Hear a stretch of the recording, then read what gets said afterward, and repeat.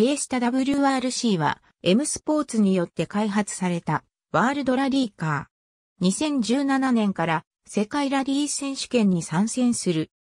2017年型フォードフィエスタをベース車両としており、2011年シーズンから2016年シーズンにかけて参戦したフォードフィエスタ RS WRC の後継モデルとして開発された。フィエスタ WRC はデビュー戦である2017年のラリーモンテカルロで優勝するなど早くから成果を上げ、初年度に5勝を挙げた。オジェとイングラシアはドライバーズ、コドライバーズ選手権において5度目のタイトルを獲得し、M スポーツは2007年以来となるマニファクチャラーズタイトルを獲得した。2018年からは、フォードがセミワークス支援を行うものの、タナク、ヤルベオヤの離脱とリソース不足から前年ほどの戦闘力はなく、M スポーツはマニファクチャラーズ選手権を放棄して、オジェ、イングラシア組一強体制を敷いた。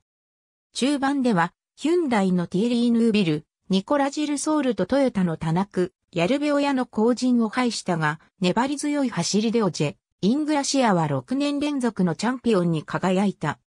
2019年は、オジェ、イングラシアも離脱したが、エヴァンス、スコット・マーティン組がツール・ド・コルスの最終 SS までトップを改装するなど、マシンの速さが本物であることを証明している。2020年は、テームス2年、ヤルモレーティネン組がエースへと昇格した。